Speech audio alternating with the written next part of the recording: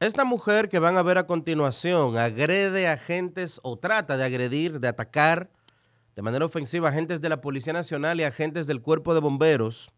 Miren las imágenes.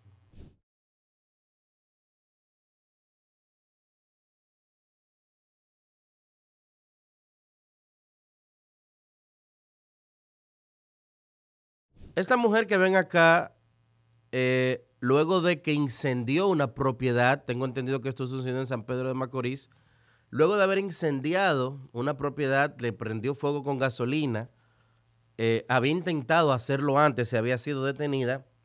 En esta ocasión, cuando logra prenderle fuego, que los moradores de la comunidad, los comunitarios lograron sofocar el fuego en conjunto con acción de los bomberos, entonces agarra un machete y nadie se le puede acercar y nadie se le puede pegar porque ella es Rambo con un machete en la mano.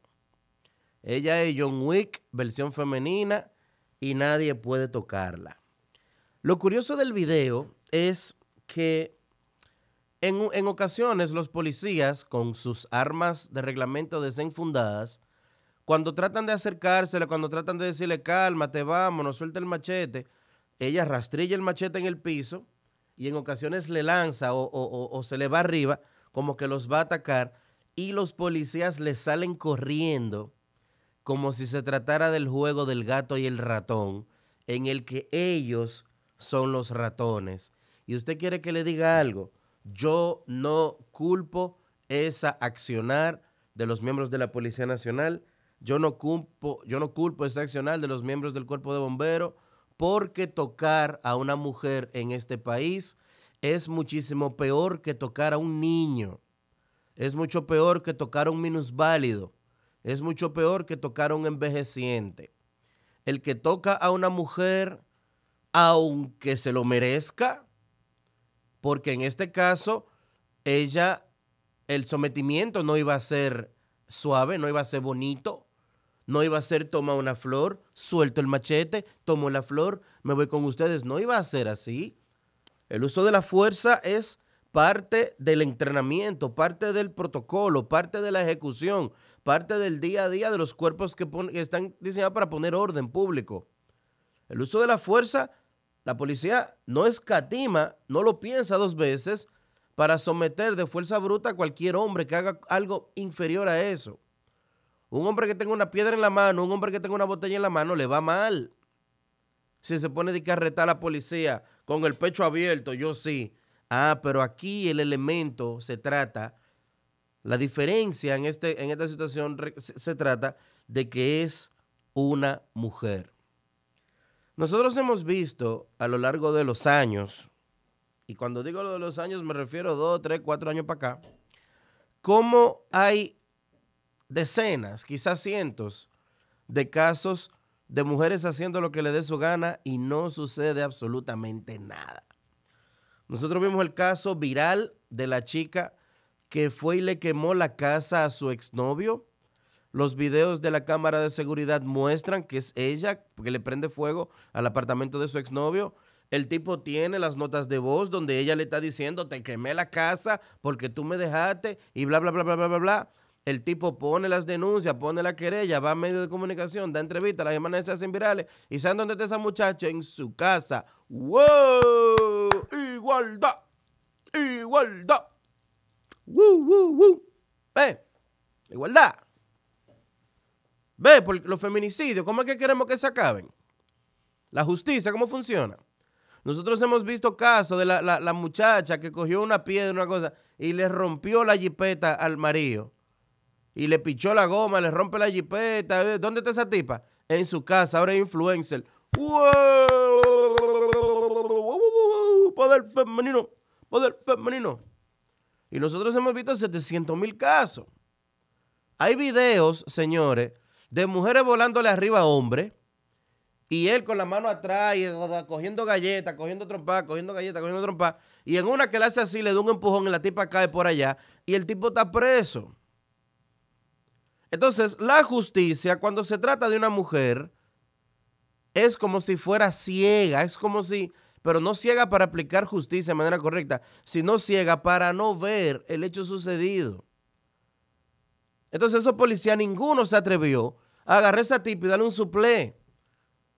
Porque si uno de ellos agarra y le da un suplé, el video que se hace viral y ustedes lo pueden apostar, el video que publican en los periódicos y en todos los lados es el del policía dándole un estrellón y se acabó. Y ahí salen la generación idiota de hoy y la generación de focas y de chimpancés de hoy en día. ¡Ay, policía! Trayó una mujer, le trayó una mujer, le trayó una mujer. Y se ignora el preámbulo, se ignora lo que provocó dicha acción de fuerza. Y tuviéramos hoy pidiendo la cabeza y linchando de manera pública, de manera en las redes sociales, a un policía por someter a una loca que está amenazando a la comunidad con un machete en la mano. ¿Es este el mundo que nosotros queremos? ¿Es esta la sociedad que nosotros le estamos dando a heredar a nuestros hijos? Usted como mujer, sea sincera, usted se siente bien sabiendo que la ley para uno sí funciona y para el otro no funciona. Delante mío, delante mío, una magistrada le dijo a un compañero que yo la acompañé a la vista, yo fui con él,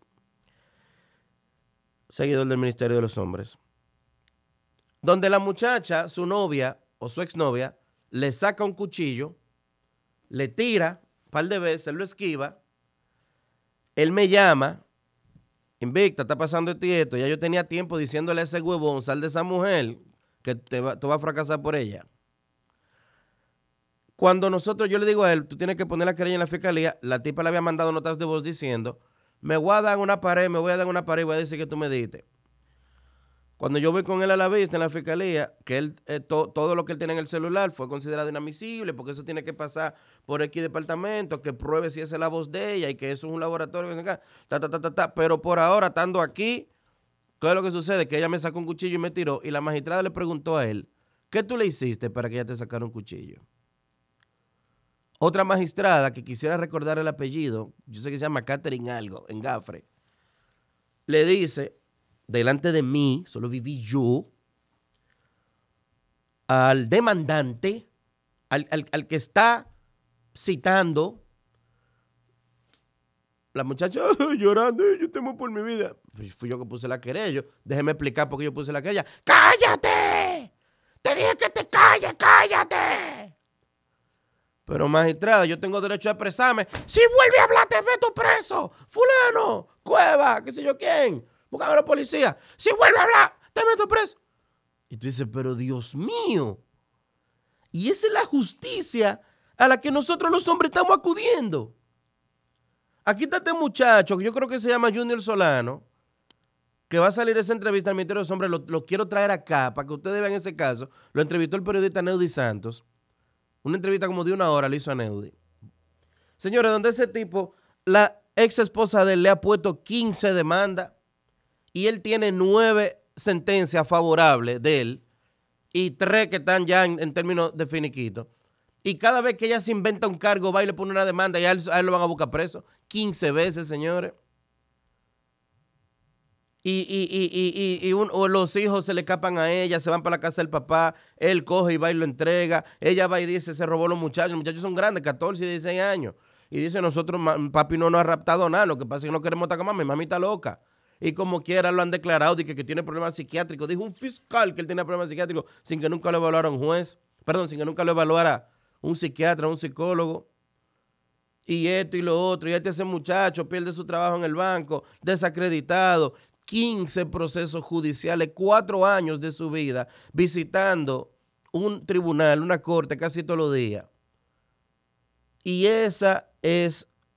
Y, ah, ¿todo por qué? Porque él le descubrió a ella cinco infidelidades y la dejó. Y él tiene las notas de voz. Señores, él tiene los videos. Él me enseñó eso en su teléfono. Y yo, yo no lo puedo creer. Donde en su casa están que yendo a allanarlo y a buscar los presos sin orden de arresto. Y él grabando los fiscales y una fiscal diciéndole, si no borra ese video te va a ir mal. Si no lo borra te, va a joder. Y, él tiene eso en su poder.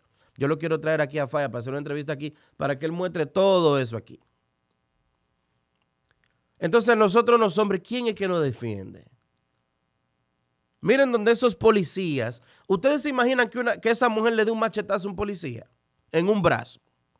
O que esa mujer le dé un machetazo a un policía en el cuello y lo mate o que esa mujer le dé un machetazo a un policía en la cabeza, en una oreja, en la cara, ah, que, le, ocasione un daño a un policía, a un muchacho, un padre de familia, sirviéndole a la patria, sirviéndole a la nación.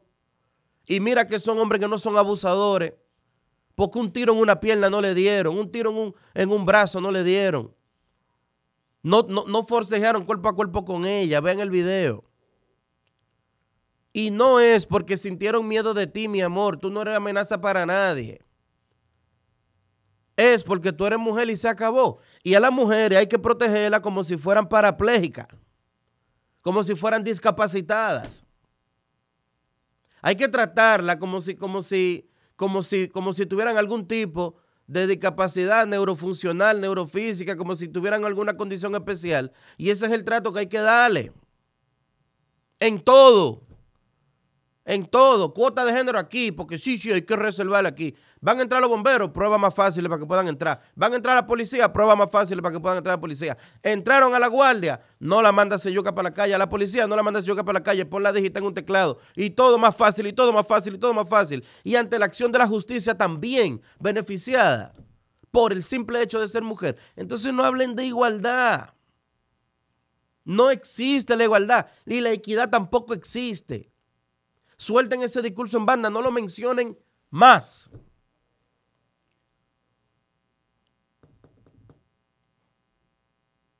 Yo recuerdo en una ocasión que un vecino, donde yo vivía en un residencial, la esposa constantemente le pegaba. Ella le pegaba, la aruñaba. Nosotros siempre escuchábamos los gritos de ella. Y él, pero que cálmate, cálmate, cálmate. Y yo que me hice pana de él, y hablábamos con él, siempre los, vecinos. Sí, que esa mujer mía es medio celosa, medio agresiva, medio violenta. Un día, cuando empieza el pleito, que él le está diciendo, pero fulana, cálmate, pero fulana, no me voy a calmar, tú eres un perro, así que hay que hacerte a ti. Un vecino mío y yo decidimos llamar a la policía. Cuando nosotros llamamos al 911, eso fue antes de la pandemia, yo le expliqué a la, a la chica del 911, es la mujer que está agrediendo al hombre. O sea, traté de ser repetitivo en eso. Y lo repetí, lo repetí, lo repetí. Sí, señor, no se preocupe. ¿Cuál es la dirección? A tal sitio, residencial tal, apartamento tal. Rapidísimo, señores. Efectivo el 911. A los dos minutos llegaron dos guaguas de la policía, dos motores, había una ambulancia, una cosa, un aparataje de película. Nosotros toditos salimos a darnos la movie de cómo van a meter presa a esa maldita loca. ¿Sabes lo que hizo la policía? Se lo llevó preso a él. Y yo salí donde el comandante y le dije, comando, yo fui el que llamó. Y él es la víctima. Y la misma mujer estaba diciendo, soy yo la que le doy dando, soy yo la que le doy. Suéltalo, que ese es mi marido, que ese es mi marido, que ese es mi marido. Y los policías dijeron, el que va preso es él.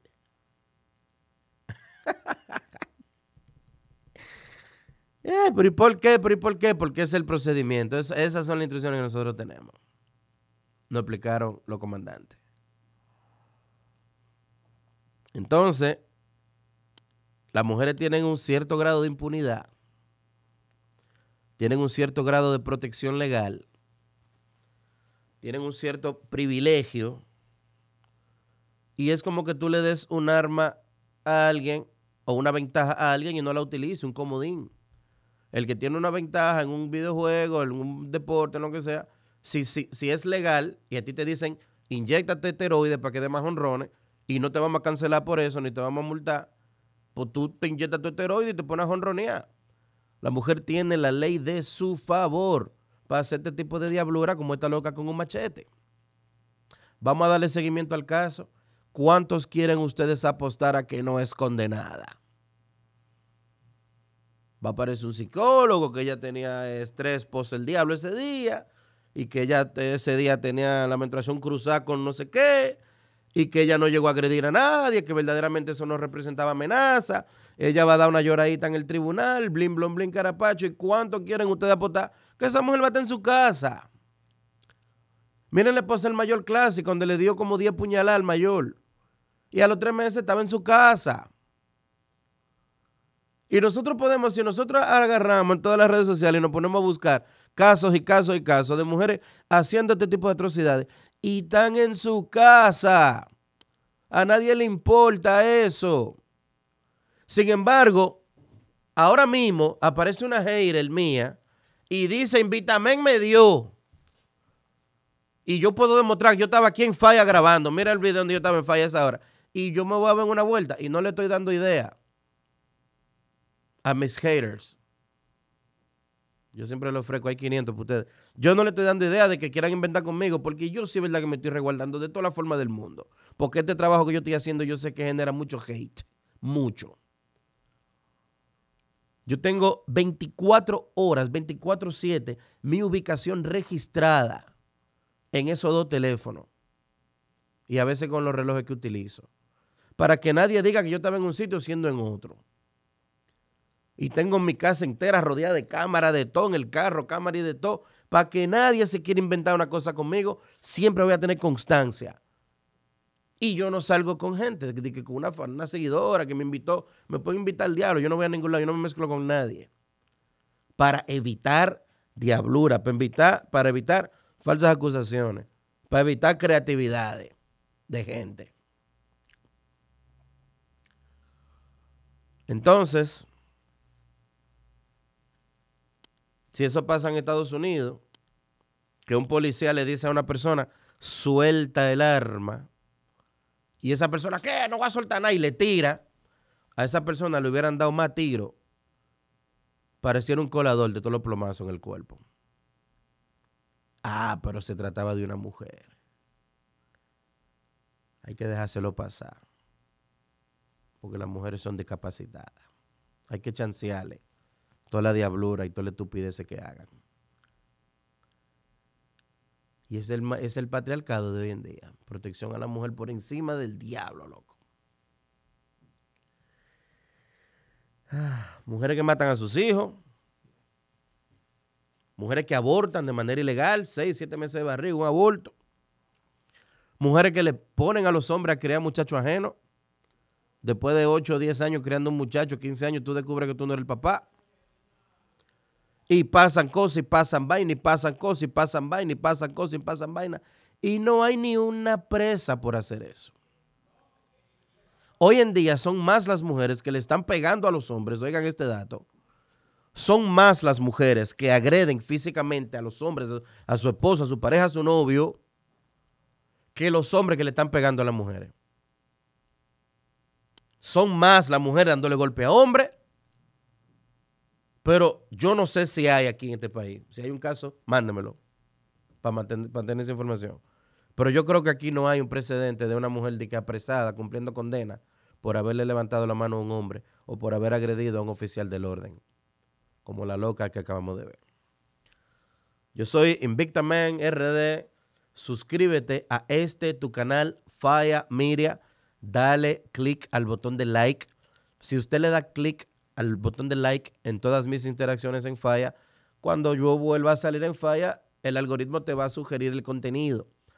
Comenta tu opinión, si estoy en lo correcto o si no. Si, si me faltó algo por decir o si tú crees que yo lo que soy un loco hablando pepla, coméntalo aquí debajo también. Déjame tu opinión, para mí es importante. Yo entro a responder a casi todos los comentarios, los leo todos. Dale fuertemente al botón de like, suscríbete a Falla. Estamos casi, casi llegando a los 100 mil suscriptores. Tenemos regalos para los 100 de los seguidores más, más fieles. Coño, 100 es mucho. vamos, vamos. Entre Rocky y Casar lo primero. Pero estamos casi llegando a los 100 mil suscriptores. Así que suscríbete a este tu canal Falla Media. Recomienda este contenido con alguien más. Búscame en Instagram como Indíctame en RD. Y será hasta la próxima entrega. God bless you.